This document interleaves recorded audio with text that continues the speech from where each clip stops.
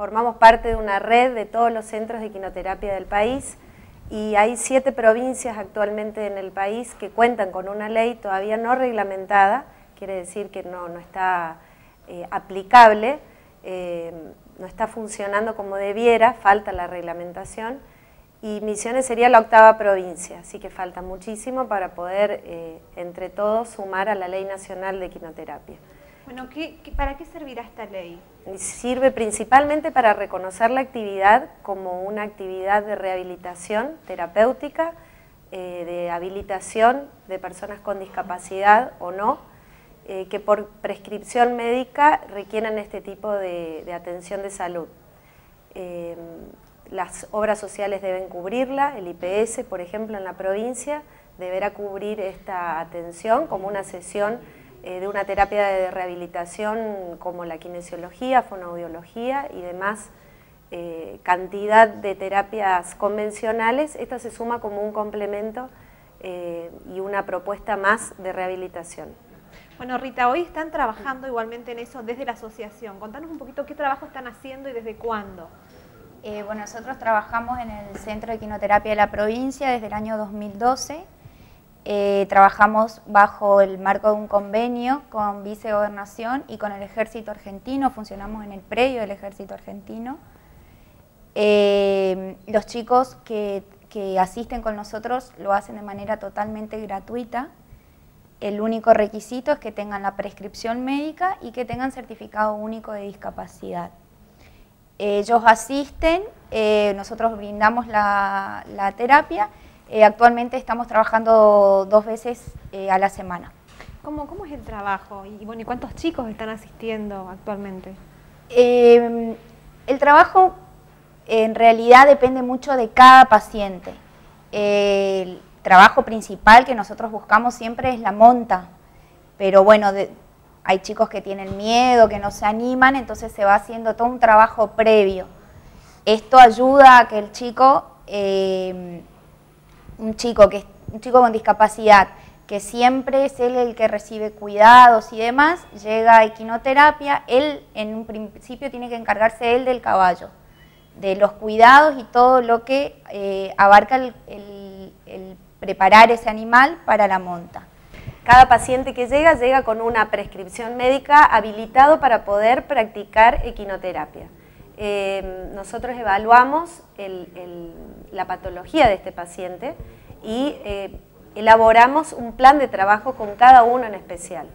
Si puede montar, si no puede montar, eh, en el acto me refiero, siempre el objetivo es que monte porque nuestro principal agente de salud es el caballo, es quien hace todo, todo el trabajo quién queremos que haga. ¿Cuáles son los resultados que han visto en estos tiempos, digamos, con, cada chico que, asistió? Con todos hemos tenido evolución positiva y, eh, reacciones inesperadas eh, siempre eh, para bien.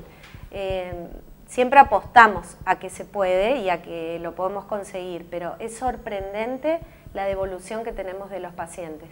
en menos tiempo del previsto, eh, tenemos resultados que, son, no sé, no me, atrevería a decir milagrosos, pero casi, porque eh, personas que no se animaban a bajar del auto del terror que tenían a los caballos, hoy montan solos eh, y que tienen un cuadro complicado médico, como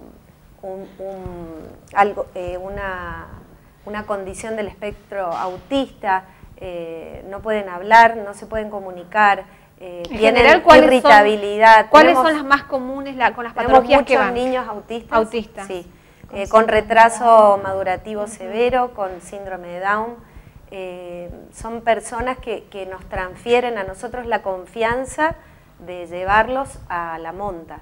Y eso es un, una gran, un gran desafío con cada uno y es un trabajo muy particular con cada uno, porque cada, uno reacciona distinto. ¿Cuánto tiempo le dedican a cada, cada paciente? Una hora o 40 minutos. No significa que el paciente deba montar una hora ni 40 minutos. Con cada uno eh, lo acomodamos de acuerdo a lo que vamos viendo, cómo reacciona, cómo está dispuesto, si ese día está cansado, si la medicación ese día no le hizo muy bien, eh, si necesitamos activarlo o calmarlo.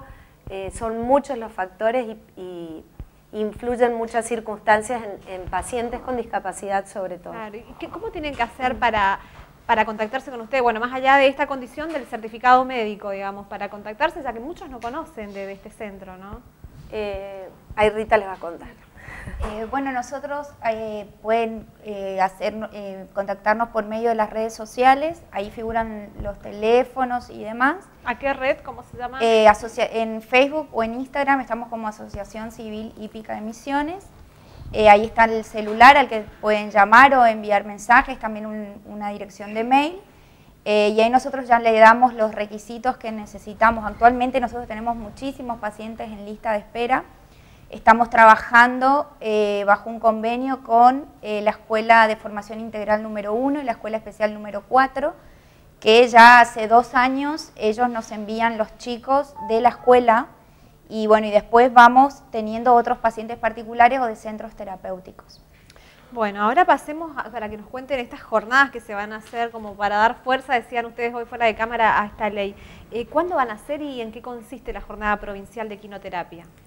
Eh, esta primera jornada que quisimos hacer y que se realiza ahora el lunes 16 de septiembre a las 16 horas en el Salón de las dos Constituciones de la Cámara de Representantes, em, viene a dar un poco de fuerza a, la cantidad de centros, a la cantidad de interesados, a la cantidad de participantes eh, em, profesionales intervinientes y personas no profesionales que forman parte de todo esto de la equinoterapia en la provincia de Misiones que queremos como eh, reunir, eh, integrar y sobre todo formar.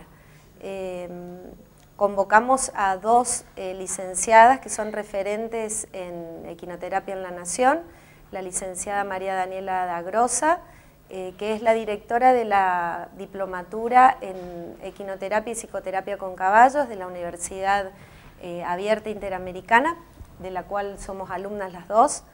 Eh, y la otra profesora es Marcela Aldazábal, son las dos licenciadas en psicología, especialistas ecuestres las dos, eh, y con un montón de títulos que ahora no me acuerdo, pero son referentes a nivel nacional. ¿La jornada va a ser abierta? La jornada es abierta, no tiene costo. Eh, sería genial que concurran todos los interesados, los que no conocen qué es la, qué, es la actividad, qué es la quinoterapia, porque eh, se habla mucho de la quinoterapia y hay que conocer, porque trabajar con personas con discapacidades es delicado, es muy sensible, y es muchísima la responsabilidad profesional que involucra. Así que sería genial que concurran todos.